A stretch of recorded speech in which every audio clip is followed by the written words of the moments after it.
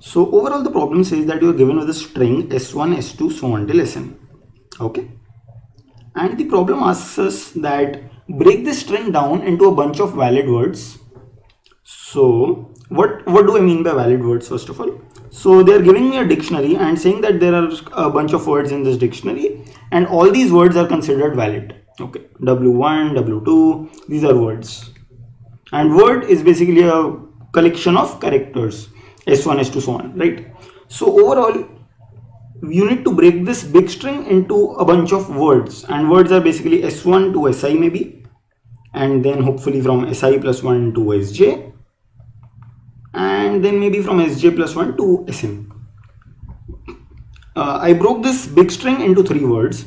Now if s1 to si is belongs to this dictionary, si plus 1 to sj belongs to this dictionary and sj plus 1 to sn also belongs to this dictionary, then this means that I'm able to break this big string down into three words, right? That is one way of breaking this given that these words are there in the dictionary.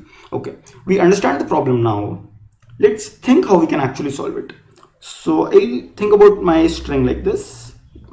I'll start taking some characters from the left going towards the right. Okay, I take S1. I see if S1 is a valid word. Maybe it is, maybe it is not. Okay, let's say it's not. Okay, then I take another character.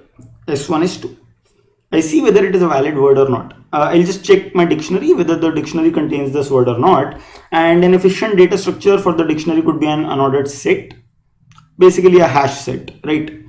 let's suppose that even this is not a valid word okay then I'll take another character s3 let's say this is a valid word now if I consider this to be one word then initially my problem was is there a way of breaking this big string from s1 till sn into a bunch of words assuming that I take this to be a character uh, a word a valid word then my problem reduces down into a sub problem that says is there a way to break down the string starting from S4 till Sn?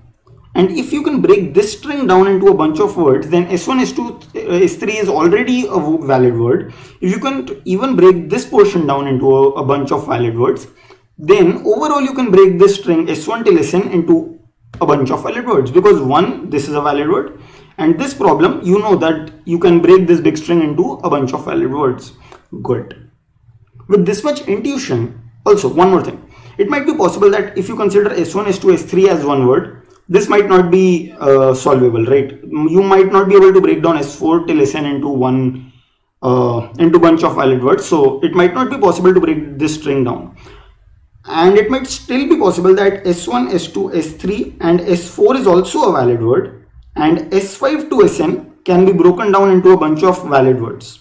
So you'll have to try out all the combinations of the first word and then you can recur for the remaining problem or the remaining sub problem. So with this much intuition, let's define a few terms and then we'll have our solution. Also guys, I highly recommend uh, my DP playlist. These things will become much, much more clear. What is a DP state? What is a recurrence? And you'll be able to solve much more dynamic programming problems very easily. Okay. So DP of, um, let me call it 1 to n. Okay dp of 1 to n basically says is either true or false. dp of 1 to n is true if it is possible to break down the string from s1 till sn into a bunch of valid words. Okay. So it's either true or false and this is basically our answer.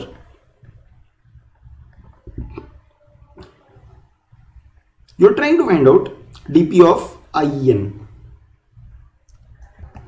So if this is true, then we're good. How do i write a recurrence for this thing? Okay i'm trying to find out this part.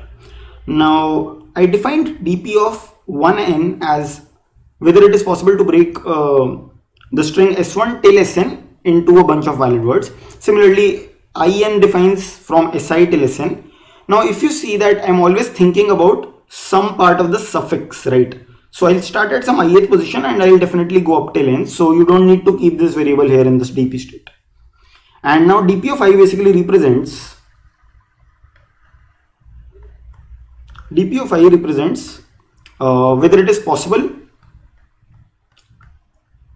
to break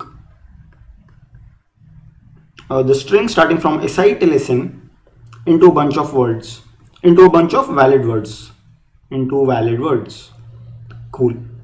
Now what I'll do is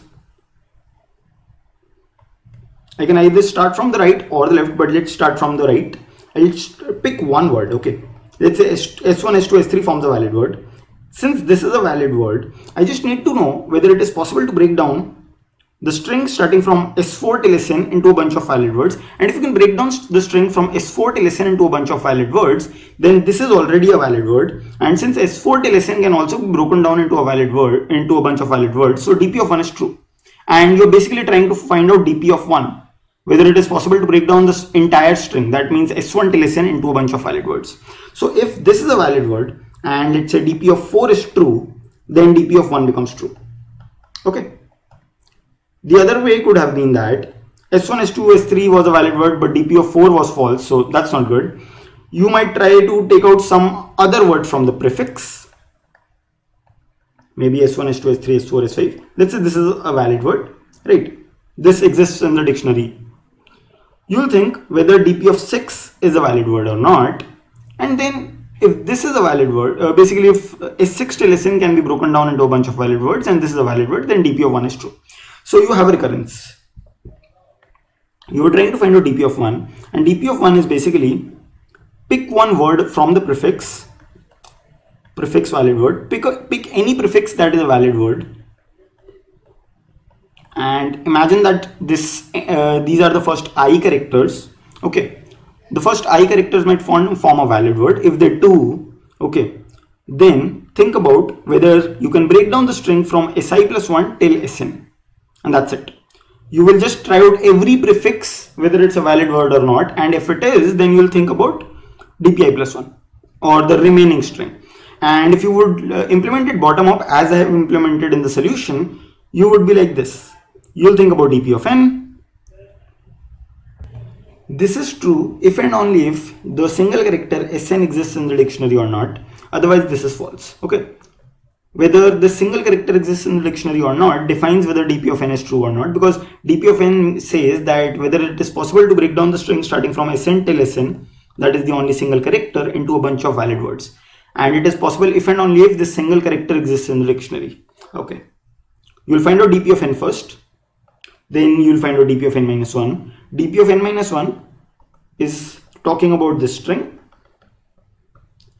You will say okay does uh, does sn minus 1 exist in the dictionary? If it does then if dp of n is true then dp of n minus 1 is also true. If it does not then you can probably go ahead and try whether sn minus 1 and sn exist in the dictionary. If they do then dp of n minus 1 is true. Okay. Similarly you will just go towards the right and once you found out dp of 1 that is your answer hopefully guys this much explanation uh, was good enough. And if still you think that it would have been better you can still let me know in the comments. So bye